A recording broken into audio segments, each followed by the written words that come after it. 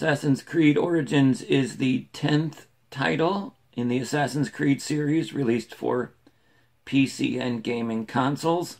The game takes place in Egypt and has an enormous explorable map, including many famous Egyptian landmarks like the Great Pyramids, the Sphinx, tombs, and buildings that have been unearthed by archaeological research and discovery. Graphics. The graphics for Assassin's Creed Origins are stunning. This game is beautiful. The distance draw rate, the amazing detail of all the Egyptian cultural buildings. There is so much to explore in this game from arid deserts where you can experience hallucinations if you stay too long to uh, thriving agricultural cities along the Nile and everything in between. You see all walks of Egyptian cultural life as well as some Roman architecture and Roman culture and lifestyle blended in to this area. The graphics for this game receive a 9 out of 10. Story.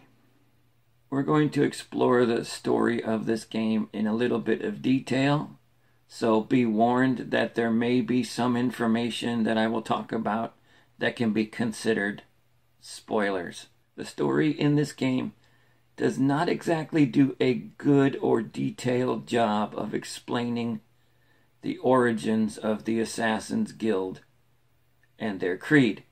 It's kind of rushed into the last hour or so of the main story narrative. For 90% of the game, you follow the main character, Bayek, and his interactions with his lover and wife at the time, Aya. Although Aya only appears in about 10% of the main storyline, it turns out she is actually the primary character responsible for developing the assassins. This causes some major disconnect between the storytelling and the game as you really care about Bayek. You care about what he's going through. You care about the fact that he's lost his son and that he's torn between the sense of duty and helping people and seeking revenge to find the person who took his son so that he can guarantee that his son rests in peace.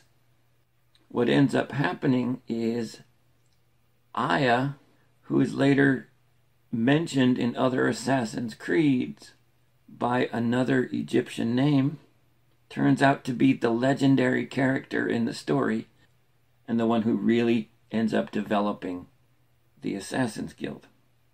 Towards the end of the main story, we see that Bayek and Aya's relationship disintegrates. Again, the game doesn't do a great job here of really explaining why it disintegrates. Yes, they have different opinions on who they should support and who they should back, including Cleopatra and Julius Caesar, torn between Rome and Egypt, and how to bring about justice. But they don't really do a very good job of tugging at your emotions or explaining why this split is so unceremonious. Bayek just shows up and suddenly he and Aya decide that it's over. They're going to throw their relationship away so that they can both be assassins. Story of this game gets a 4 out of 10. Gameplay. In terms of gameplay, the navigation and movement controls of this game are similar to other Assassin's Creed but they've been simplified. However, there were times throughout this game when I was in combat, or I needed to escape or hide or go up or down a very steep cliff face or castle wall, and the controls just would not cooperate. The character would slide to the right when I was trying to go up, or when I was trying to descend, he would get stuck on the edge of the wall and not want to descend. The other thing that has changed with the, the game controls here is the fighting has been completely revamped. I really liked the fighting in the older Assassin's Creed, especially Assassin's Creed 1, Assassin's Creed 2. I really liked the tight controls. You could take on multiple enemies if you were smart by using proper counter timing and being able to navigate well around the enemies. Now the controls are somewhat more like Dark Souls and other traditional action hack and slash RPGs, and I personally am not a fan.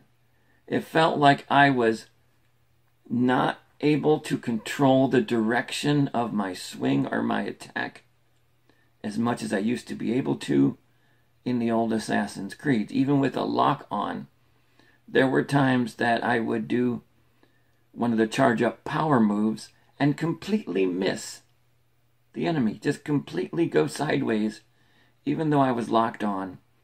This type of combat also requires that you are always moving the camera along with your character.